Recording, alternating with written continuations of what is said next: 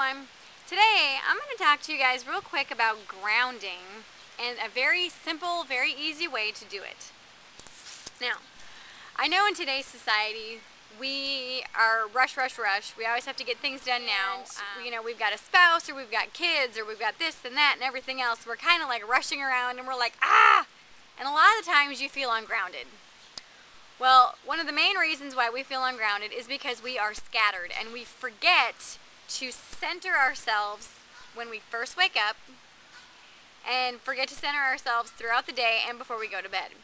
So this is a very, very, very simple exercise that you can do at any time, especially when you go into a place like, um, just recently I was with one of my friends and her daughter was feeling very scattered and she was like ah and so I, I shared with her this exercise and it helped almost immediately so it's very easy take two fingers like this and bend them so that this little part is flat and put this part against your heart chakra okay that will help center yourself because you'll push and you'll feel that sensation of pushing your heart chakra, and that helps activate your heart chakra, okay?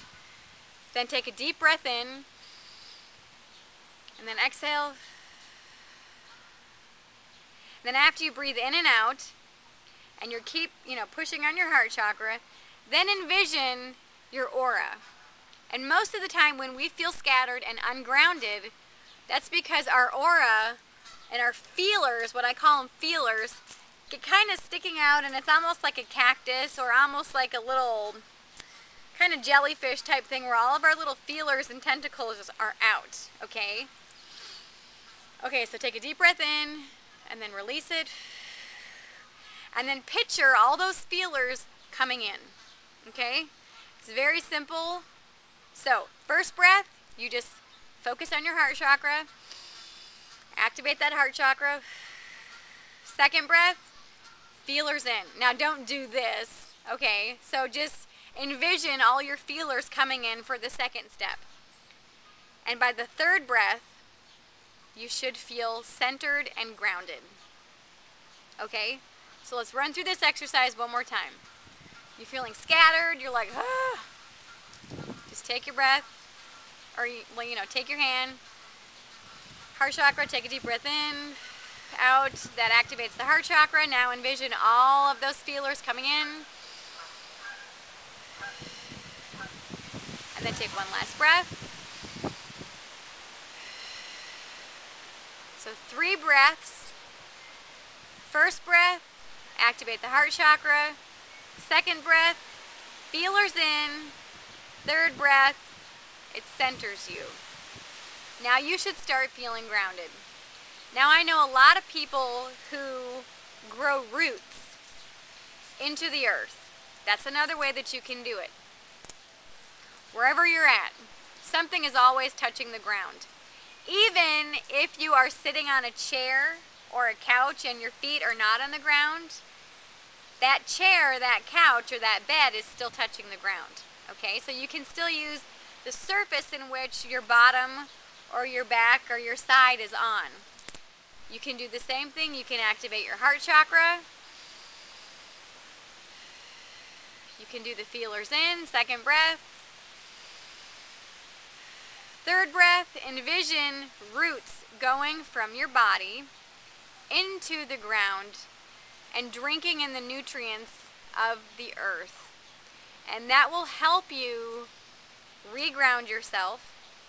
That will help you center yourself and re-energize yourself. Okay?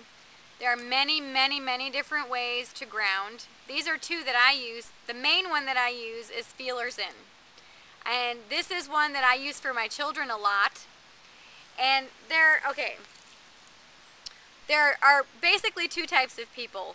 There are auditory learners, which they learn by hearing and seeing, okay, auditory visual. And then there's learners who learn by doing, which is like a kinesthetic learner. Okay?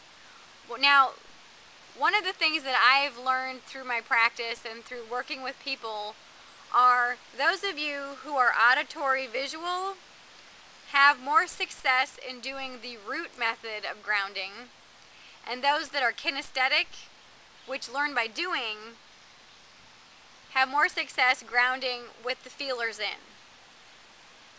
I don't know why, but that's what I've experienced in my students and in, in my practice um, with those that I've, I've done this exercise with.